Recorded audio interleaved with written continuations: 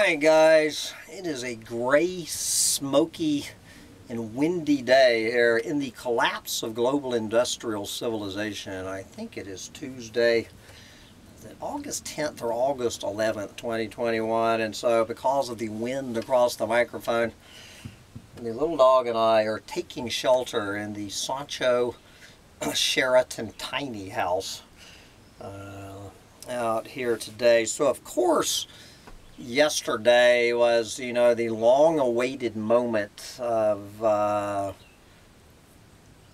you know, that newest doomsday report, the Code Red for Humanity, uh, being released by the UN, you know, the IPCC report talking about how doomed we are and whatnot, the newest doomsday report, and I'm just trying to decide how much of my hot air I'm going to give to this uh, because I'm pretty sure it's being pretty well discussed elsewhere in the doomosphere.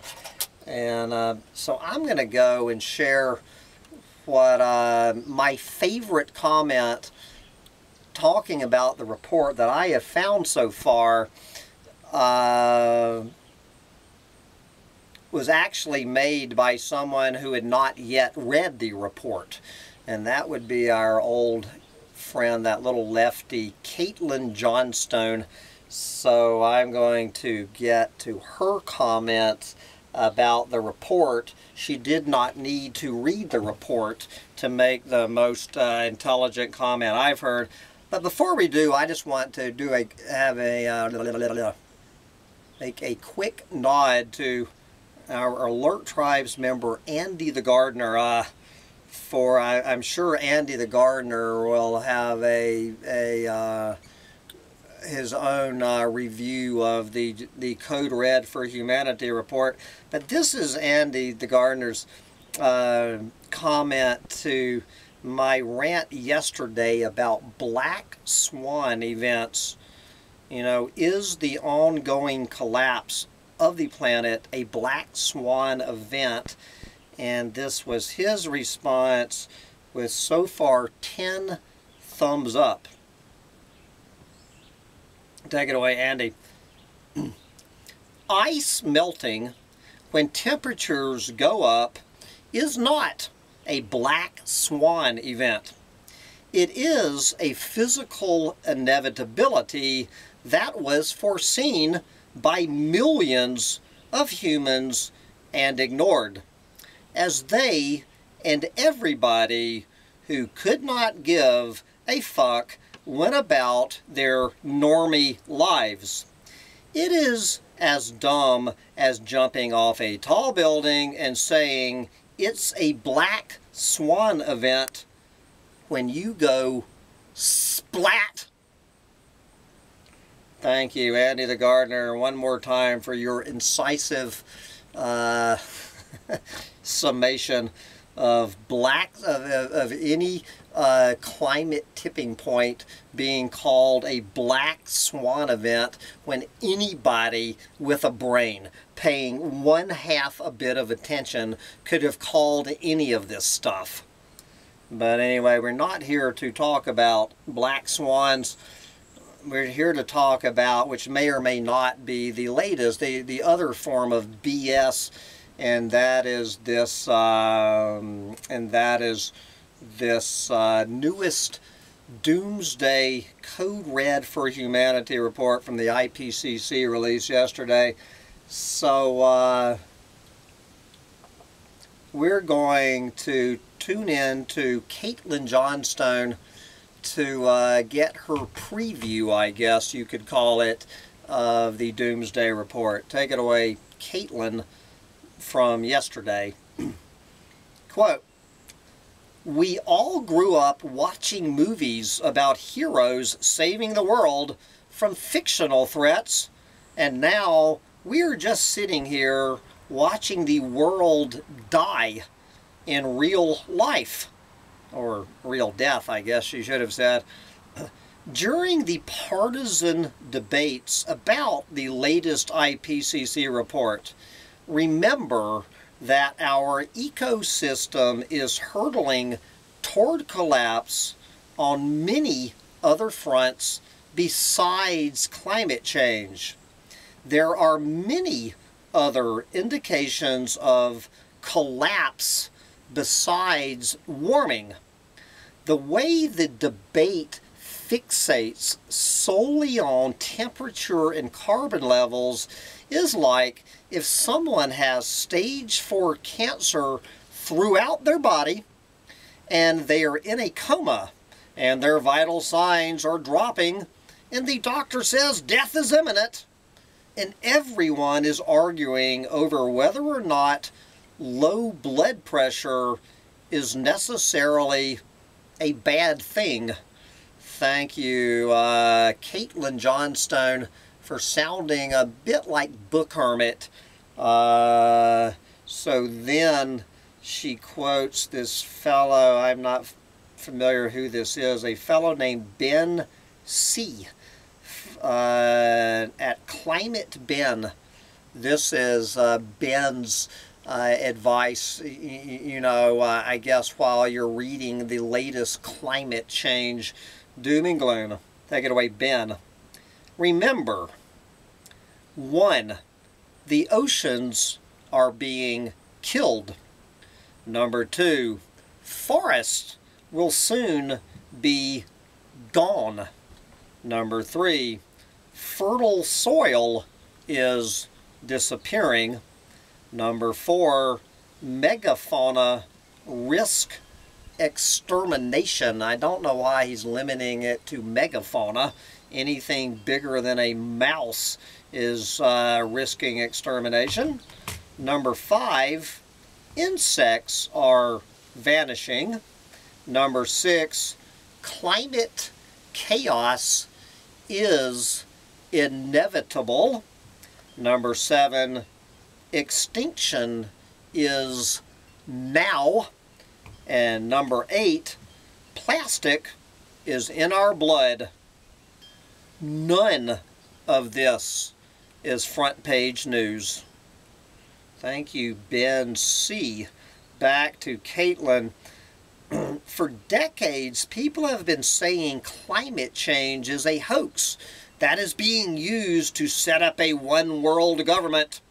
And all that has happened during those decades is the planet getting hotter while the powerful do nothing because ecocide is profitable. Wow. Follow the money. Stupid. Anyway, everyone who thinks climate change is a hoax being used to advance sinister agendas can relax no actual things will be done in the name of preventing climate change. The news cycle will move on once again and everyone will forget all about it. You know how you keep saying Democrats are trying to take your guns and nothing ever happens? This is that. Yes, for generations, incremental reform has been the dominant political strategy for advancing positive change. And the only incremental reform we have seen is toward more war, more ecocide, more corruption, more exploitation, and more oppression, it is time to admit incrementalism does not work. Here is how to fight climate change by working within the system. Number one, elect corporate warmongers who promise to start moving toward sustainable energy in the next century as long as that does not inconvenience the powerful. Number two, cloth grocery bags. Number three, maybe Elon Musk will save us. And number four, don't forget, paper straws. Yes. Uh, our entire civilization is a bubble that is going to have to burst fairly soon. Only thing we have any degree of control over is how that bursting happens. I'm not sure how we have any control over that. Uh, so anyway, as you might have heard elsewhere uh, on the Doomosphere this morning, you know that I I have mentioned before here how Yahoo News uh, is has started the little uh, news bots at Yahoo News have started looking for stories that um, looking for stories that should be of interest to doomers like myself and uh, apparently anyone listening to me. So Yahoo News, despite the fact that uh, the first mention of it of the Doomsday Report came in at number 67 talking about how Joe Biden's infrastructure plan was going to save the planet from climate change. That was the one story, number 67, right up here, number one story in the Doomer Roundup on Yahoo News. Seven steps you can take now to help avert the worst climate change consequences. And so since you uh, since you can find this elsewhere on uh, the Doomosphere today. Um, I, I do like the paragraph leading up to the seven steps you can take today. Yes, while it is easy to slip into climate despair, there are steps to be taken that, though insufficient, to solve the problems posed by climate change. Otherwise, meaning we'll do absolutely nothing to solve the problems posed by climate change. Attempt, attempt to keep the worst consequences at bay. Take a wild guess. Let's hear Yahoo News's big seven things you can do to save the planet from climate change? How about the big yawn, eat less meat? How about reduce food waste? Yes, do not forget to adopt those clean energy alternatives. And of course, plant a lot of trees. They're saying uh, a forest twice the size of the United States get out there and plant a forest twice the size of the U.S. Of course, cut down on flying. Yes. Weatherize your home. And of course, vote in politicians such as Joe Biden, uh, who promised to save the planet from climate change through an infrastructure plan. It goes without saying they are not at Yahoo News going to touch the third rail to suggest not breeding. But anyway, I just uh, got a, a note from Caitlin today. So what is Caitlin sounding like? So that is Yahoo News's uh, that is Yahoo News's News's Yahoo News's uh, seven ways to save the planet. But Caitlin Johnstone this morning, this is her uh, things you can do right now to change everything. Okay. When I'm just going to read the first two paragraphs whenever I talk about the fact that our world is ruled by psychopaths who have our species on a trajectory toward annihilation via climate collapse or nuclear war, I get people asking the very understandable question, what can we do to stop this?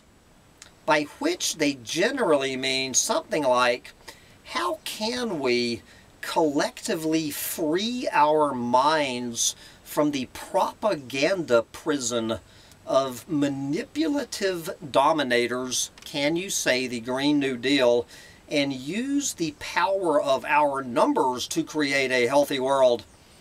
Yes, we're going to use the power of 8 billion people to create a healthy world. And the answer to this question is essentially do what you can where you can. You are only one person and the machine is so very powerful and so very deeply dug in. So all you can do is one person's best in each moment, seize every opportunity you can find to spread awareness and throw sand in the gears of the machine and rest assured that you have done all you can. Well, there is one more thing that Caitlin left out, and that is to get out there and enjoy it while you still can.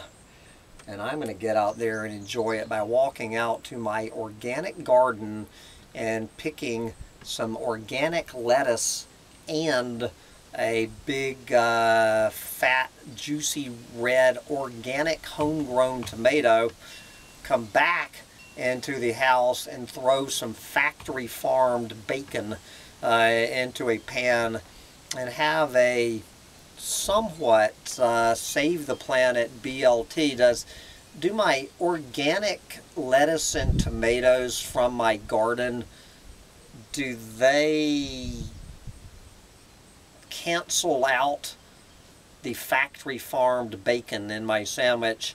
Uh, this is a quandary I will think about while stuffing my face, but I highly suggest you get out there and stuff your face while you still can. Bye guys.